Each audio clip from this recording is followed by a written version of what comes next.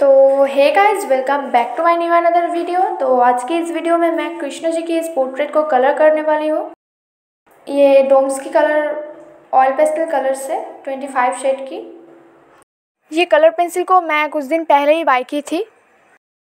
तो चलो आज की इस वीडियो में मैं इस कलर की रिव्यू दूँगी आप लोगों को।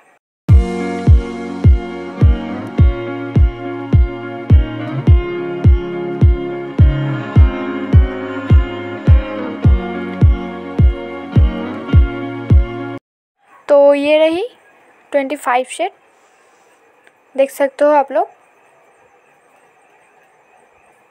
और ये स्केचर भी इसके साथ फ्री मिला है। इसके ऊपर भी मैं कुछ ट्यूटोरियल लाऊँगी। तो चैनल पर बने रहे ना। तो चलो वीडियो को शुरू करते हैं। तो पहले तो मैं स्काई ब्लू यूज़ कर रही हूँ पूरा फेस में।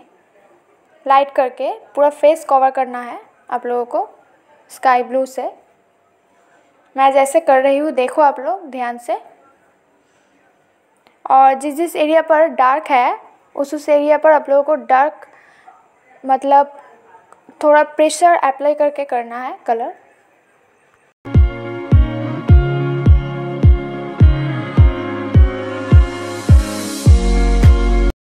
और फिर अभी जो जो लाइट एरिया है, उसके ऊपर मैं वाइट से कवर करूँगी। और ब्लेंडिंग के लिए मैं कटन बाट का यूज़ कर रही हूँ। इससे बहुत अच्छी तरह से ब्लेंड होती है।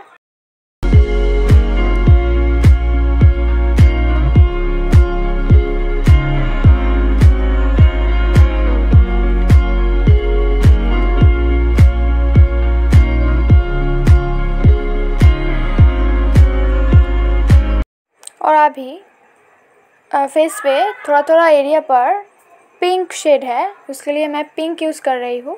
आप लोग देख सकते हो। और अभी आईब्रोज़ और आइज़ के लिए मैं ब्लैक कलर का यूज़ कर रही हूँ।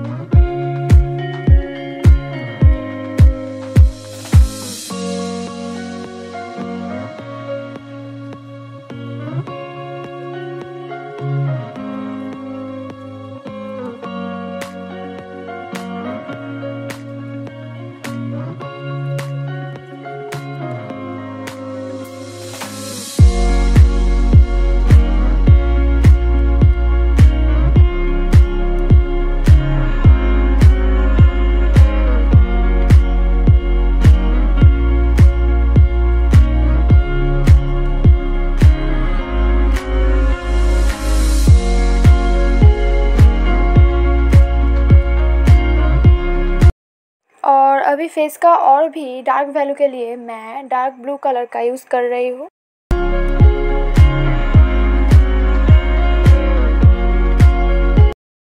और इस कलर का भी बहुत ही अच्छी तरह से ब्लेंड करना आप लोग। नहीं तो ठीक तरह से शेड नहीं हो पाएगी।